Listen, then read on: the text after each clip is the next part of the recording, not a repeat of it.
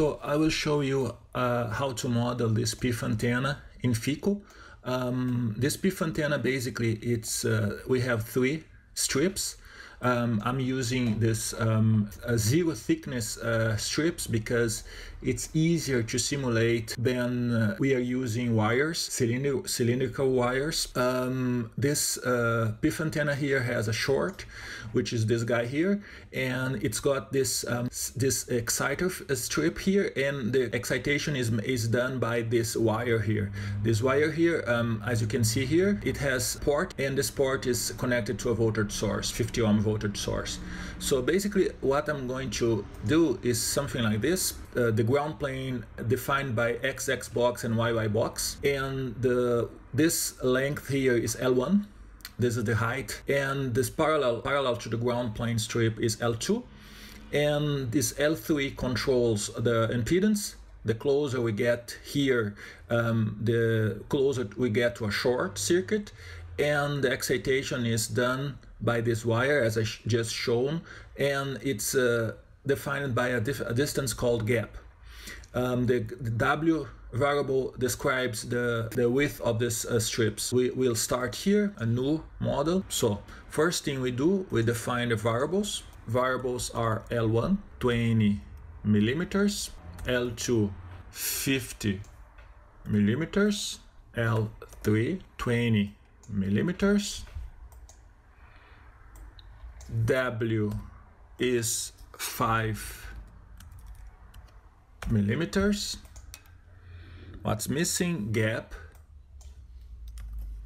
I said it was 2 millimeters.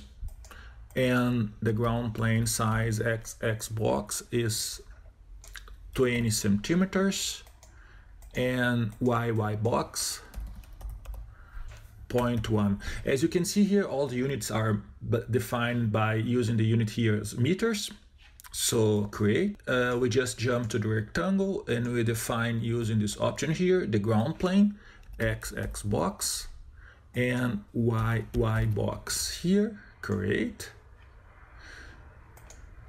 As you can see here, this is the yellow, the typical yellow color that says um, it's uh, made of metal lossless metal. We don't need to worry about materials in FEKO, Everything by default is defined as metal.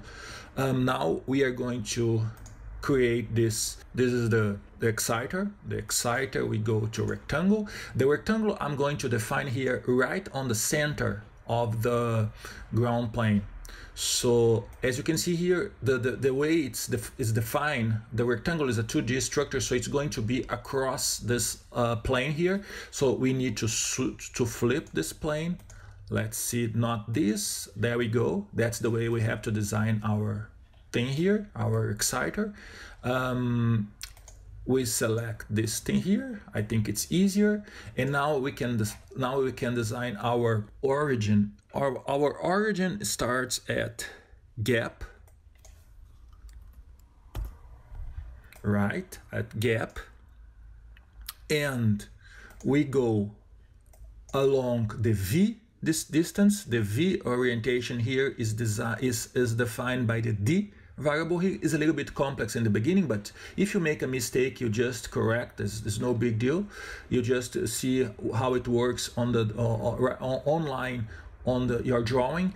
So here is zero. This is the V, um, the center of our of our of our exciter. If you see here, our exciter has L1 minus gap this is the complete distance here, L1 minus gap. So the center is going to be L1 minus gap over 2. So the center is along the V, uh, 0.5 times L1 minus gap. You see here, it's here is the, the center point. Um, our W, which is this distance here, is along the U where is our u? u is here, so our u, of course, is w.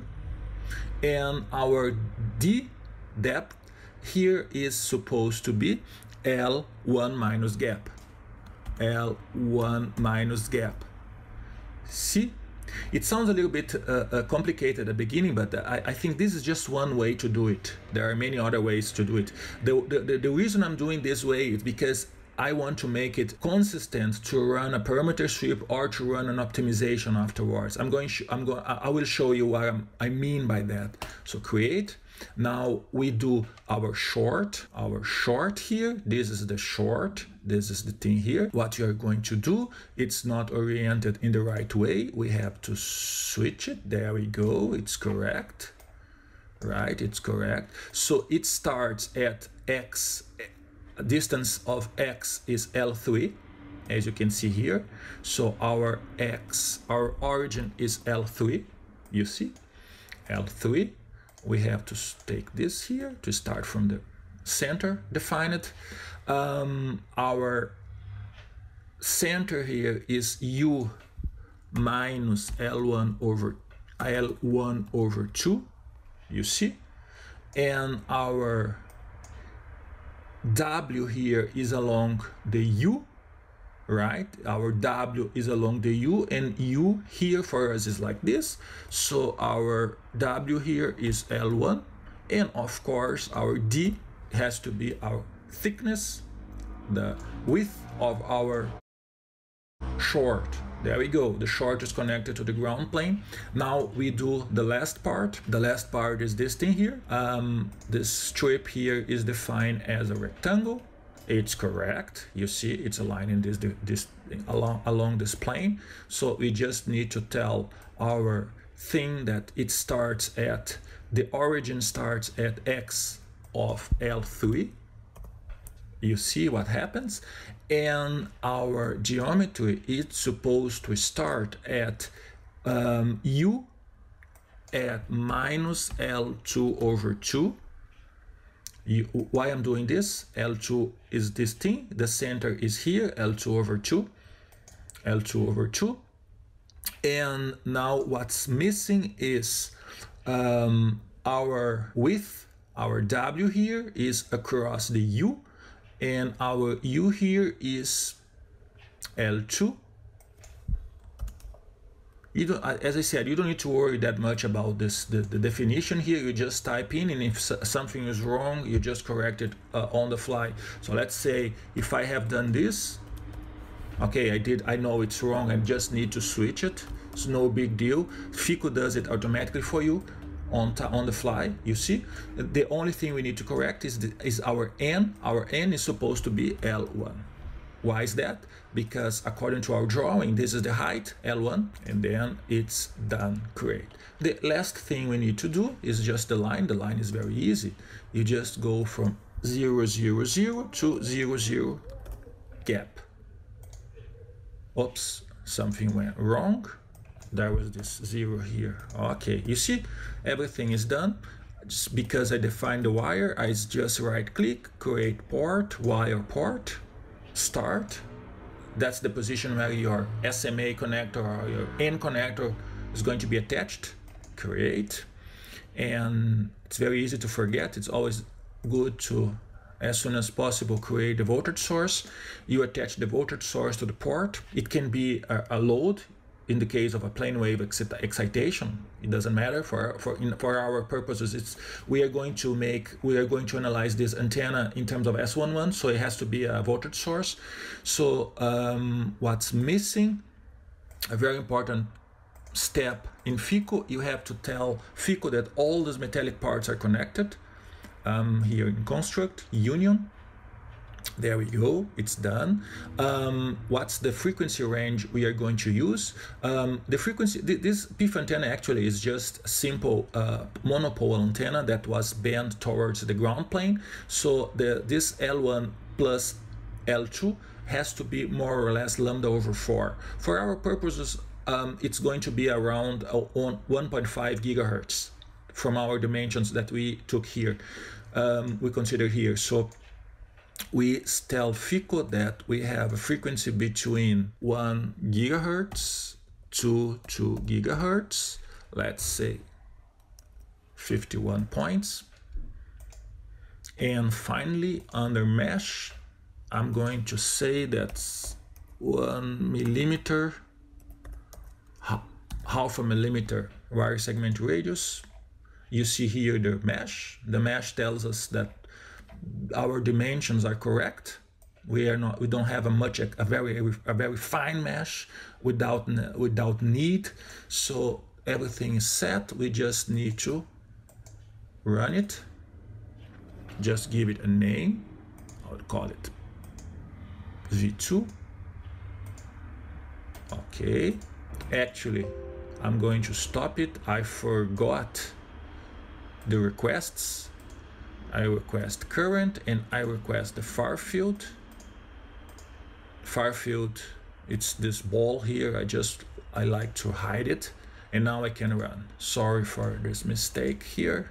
As you can see, FEKO is very quick. It's very, it runs very fast. If your structure is based on metal and if you're using a method of moments, it's amazing how fast FEKO runs. Now we go to post FEKO and let's check our structure in terms of S11 and it opens automatically with here. I, I, had from the, the previous simulation I just do it again here. I create a Cartesian and just drag and drop the voltage source. As you can see here voltage source reflection coefficient the S11 I just ask for dB.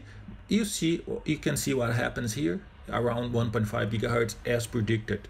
Um, our I'm going to delete it just to show how it's done. I just need to drag and drop the far field here. It's ugly because it's linear. I just click on dB and by selecting 1.5 gigahertz, we can see what happens. That's our gain, the antenna gain, the PIFA antenna gain 5 dB. Of course, if you this is everything is based on our dimensions, on our ground plane size.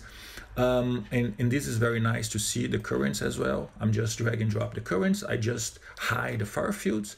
This is the currents. I can see the current animation, which is very useful for getting insights how your structure is operating. Um, you see here, this is 1.448 gigahertz actually it's wrong I just select here currents dB normalize phase you see here how important the ground plane size is because you have a, a kind of a high amplitude um, currents on, the ground plane. I have made some tests. When I made a very small ground plane the results are lousy.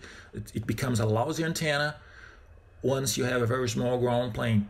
Anyways and that's that's the way uh, you get you, you can analyze your results it's there's plenty of things to do in post FEKO. I just want to show you what's the reason why I have done all the computations because I want to do this.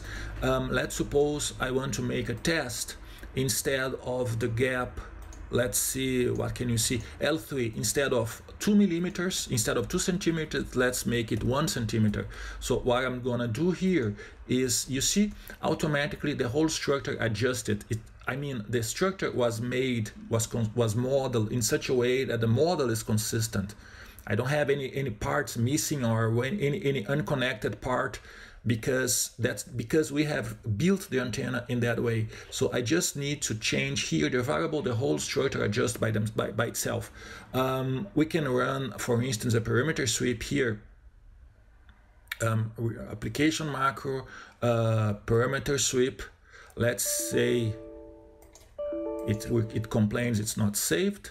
Um, application macro, parameter sweep. Let's say let's tell, for instance, L3 from our design here, from our drawing here, L3, we are going to L3 from 1.1 to 1 centimeter to 2 centimeters, two samples. I think that's fine. FEKO is going to do it for us. We don't need to worry about it. As long as our structure is consistent, we don't need to care about anything else, FEKO is going to deliver the results to us. It asks if you want, if we want to run the post FEKO, I just type in Y, yes, and then all the results are going to pop up in post FEKO. I just type in next, I don't care about this. They, it's merging the results in just one single file. All right, close it and then I have post FEKO here just Cartesian, and I can uh, drag and drop a voltage source sweep here twice. And when I say it's over 2, you see the results are shown here for S11. I just want to see in dB. That's what that's what happens when we get closer to the short circuit. We have a smaller resonant frequency. I can see that on amplitude, and I can also see with the Smith chart. Just delete this thing. Here, voltage source. That's the one guy. That's the second guy. L two centimeters. You see what happens as you move our structure close to. You see, I'm uh, still a, little bit away from from from uh, 50 ohm. There's still some uh, optimizing to do, but that's the way we create our model. We can, if you make your model consistent, then we can do all sorts of optimization and also um, parameter sweeps. Thank you.